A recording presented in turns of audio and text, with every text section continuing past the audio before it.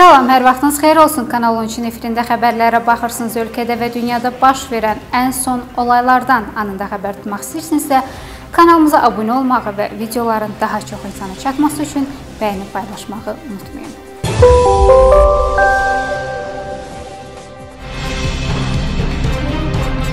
Azərbaycan Milli Elmlər Akademiyasının yarım milyonluq tenderinin qalibinin adı açıqlanıb. AMEA-nın İşlər İdarəsi tərəfindən keçirilən tenderin qalibi Ruslan Təmir Tikinti MMC olub. MMC Abşeron rayonunun Saray qəsəbəsində inşa ediləcək Alimlər şəhərciyinin su və kanalizasiya xəttlərinin çəkilməsi işlərini həyata keçirəcək. Bunun üçün isə AMEA-dan 498.356 manat 72 qəpik alacaq. Maraqlıdır ki, tender tenderin qalibi olan Ruslan Təmir Tikinti MMC dövlət büdcəsinə 32719 manat 34 qəpik vergi borcu var və vergi borcu olan şirkətlərin tender müsabiqələrində iştirakı Dövlət Satın Almaları Haqqı Qanunun 6.2.5-ci maddəsinin tələblərini pozur. Mətbuata açıqlama verən Ruslan Təmir Tikinti MMC-nin nümayəndəsi deyib ki, tender müsabiqəsində iştirak edən zaman MMC-nin dövlət büdcəsi qarşısında vergi ödənişləri ilə bağlı öhdəliyi olmayıb. Həmin tarixdən sonra yaranan vergi borcu isə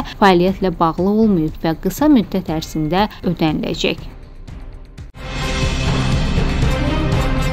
ATƏT-in Minsk qrupu həmsədrləri tərifsiz olmaqları halda tərəf tutmağa davam edirlər. Bu dəfə ABŞ açıq-aşkar Ermənistanın tərəfində olduğunu göstərdi. Belə ki, ABŞ nümayəndələr palatası 2-ci Qarabağ müharibəsi kontekstində Azərbaycanla bağlı bəyanat qəbul edib. Bəyanatda deyilir ki, erməni əsir və girovlar dərhal azad edilməlidir. Müdafiə naziri isə Azərbaycanın hərbi cinayətləri, o cümlədən qadağan olunmuş silahlardan istifadəsi, eləcə də türk pualarında Amerika texnologiyalarından istifadə haqqında hesabat hazırlamalıdır. Bəyanatda həmçinin deyilir ki, Azərbaycan imzaladığı 3-cü Cenevrə konvensiyasının ziddinə olaraq erməni əsirləri qaytarmaqdan imtina edir. Müharibə zamanı Azərbaycanda əsirlərlə amansız davranıldığı da bəyanatda qeyd olunub. ABŞ konqresmenləri hesab edirlər ki, Joseph Biden beynəlxalq hüququn öhdəliklərini yerinə yetirmək və əsirlərin azad olunması üçün Azərbaycan hakimiyyəti ilə danışıqlara başlamalıdır. Müdafiə naziri isə Bayraktar suallarında ABŞ istehsal olunan hansı komponentlərin və texnologiyaların istifadə olunduğu barədə 180 gün ərzində hesabat verməlidir. Hesabatda silah ixracına nəzarət və digər qanunların pozulub-pozulmadığı barədə rəy yer almalıdır. Həmçinin Azərbaycanın dinc əhaliyə qarşı kaset bombaları, fosforlu bombalar və digər qadağan olunmuş silahlardan istifadəsinə, eyni zamanda Qarabağa qarşı Türkiyə və Azərbaycanın terrorçulardan istifadə etməsinə qiymət verilməlidir. Bu bəyanat Amerikanın açıq-aşkar tərəf saxladığının bariz nümunəsidir. Əmək və Əhalinin Sosial Müdafiəsi Nazirliyinin tabeliyindəki Dövlət Tibbi Sosial Ekspertiza və Reabilitasiya Agentliyinin həkim ekspertlərindən ibarət işçi qrupu Vətən müharibəsində yaralanmış hərbi qulluqçuların əlilliyinin qiymətləndirilməsi işlərini davam etdirir. Nazirlikdən verilən məlumata görə artıq Vətən müharibəsinin 2000 nəfərədək iştirakçısına ölkəmizin ərazi bütövlüyünün müdafiəsi ilə əlaqədar əlillik təyinatı həyata keçirilib. Əlillik təyinatından dərhal sonra proaktiv qaydada on onlara müvafiq sosial ödənişlər təyin edilib. Qazilərin əlilliyinin qiymətləndirilməsi Nazirlər Kabinetinin qərarı ilə yaradılmış komissiyada təmsil olunan digər qurumların nümayəndələri ilə birgə hərbi qulluqçuların ilk mərhələdə əyani müayinəsi keçirilməklə və müvafiq sənədləşmə işləri görülməklə aparılır. Müdafiə və Ədliyyə Nazirliklərinin, daxili qoşunların, Dövlət Sərhəd Xidmətinin hərbi həkim komissiyaları tərəfindən şəhadətnamələr, Dövlət Tibbi Sosial Ekspertiza və Reabilitasiya Agentliyinə təqdim olunur. Həmin şəhadətnamə və tibb müəssisələri tərəfindən elektron sistemə daxil edilmiş göndəriş əsasında yekun mərhələ olaraq əlilliyin qiymətləndirilməsi aparılır. BMT Baş Assambleyasının 76-cı sessiyası çərçivəsində Azərbaycan Xarici İşlər Naziri Ceyhun Bayramov İsveç Xarici İşlər Naziri ATƏT-in fəaliyyətdə olan sədri An Linde ilə görüşüb. Xarici İşlər Nazirliyindən verilən məlumata görə Ceyhun Bayramov bölgədə olan cari təhlükəsizlik vəziyyəti, üç tərəfli bəyanatların icrası ilə bağlı məsələlər, Ermənistan tərəfindən 10 noyabr 2020-ci il tarixli üç tərəfli bəyanatın müddəalarına zidd davranış və digər məsələlər barədə həmkarına məlumat verib. Həmçinin münaqişədən sonrakı bərpa və yenidən qurma mərhələsi ətrafında da fikir mübadiləsi aparılıb. Nazirlər Azərbaycanın ATƏT-lə əməkdaşlığı məsələləri, eyni zamanda ATƏT-in Nazirlər Şurasının toplantısına hazırlıq məsələsini də müzakirə ediblər.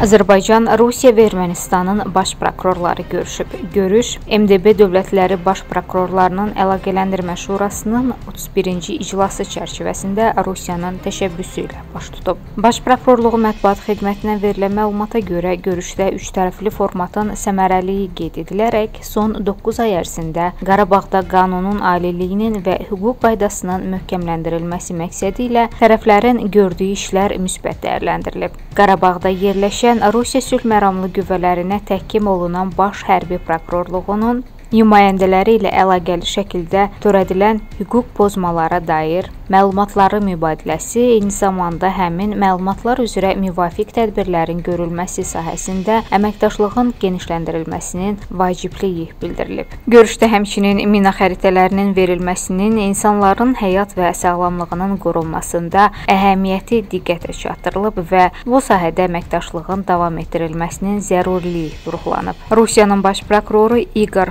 Qarasnov Azərbaycan və Ermənistandan olan həmkarlarına bölgə xalqlarının rifahı naminə sülh və sabitliyə nail olmağa yönəlmiş konstruktiv qarşılıqlı əməkdaşlıq və səylərinə görə təşəkkür edib. Görüşdə həmçinin Azərbaycan, Rusiya və Ermənistan dövlət başçıları tərəfindən imzalanmış bəyanatların icrası və hüquqi sahədə gələcək əməkdaşlıq məsələləri müzakirə edilib və tərəflər gələcəkdə gərginliyə səbəb olan halların qarşısının alınması üçün əlaqələrin gücləndirilməsi ilə bağlı razılaşma danışmanı bir daha dəstəkləyiblər.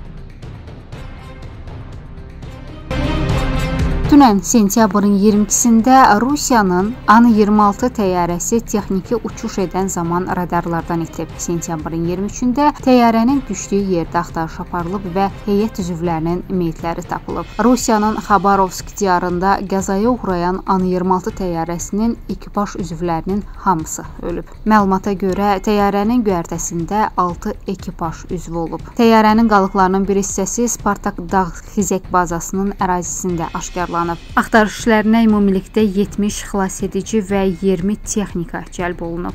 İlkin ehtimala görə təyyarənin qəzaya uğramasına səbəb əlverişsiz hava şəraiti olub. Və sonda sabah olan hava haqqında məlumatı diqqətinizə çatdırırıq. Milli Hidrometeorologiya Xidmətindən verilən məlumata görə sentyabrın 24-də Bakıda və Abşeron yarımadasında hava şəraiti dəyişkən buludlu olacaq, arabir tutulacaq, əsasən yağmursuz keçəcək. Mülayim şimal-qərb küləyi gündüz arabir güclənəcək. Havanın temperaturu gecə 17-19, gündüz 23-25 dərəcə isti. Bakıda gecə 17-19, gündüz 23-25 dərəcə isti olacaq. Atmosfer təzyiqi 760 61 mm civə sütunu təşkil edəcək nisbi rütubət gecə 70-75, gündüz 45-50% olacaq. Tibbi meteoroloji proqnoza gəlincə isə Abşeron yarımadasında meteoroloji amillərin mülayim tərəddüdü gözlənilir ki, bu da meteo əsas insanlar üçün əlverişli olacaq. Azərbaycanın rayonlarında bəzi yerlərdə şimşək çaxacaq, arabir yağış yağacağı gözlənilir. Ayrı-ayrı yerlərdə leysan xarakterli, intensiv və güclü olacaq. Dolu düşəcəyi ehtimalı var. Qərb küləyi ayrı-ayrı yerlərdə arabir güclənəcək. Havanın temperaturu gecə gecə 15-20, gündüz 23-27 dərəcə isti, dağlarda gecə 6-11, gündüz 12-17 dərəcə isti olacaq. Bax belə bu günlük və bu saatlıq bizdən bu qədər növbəti gündə görüşmək ümidi ilə hələlik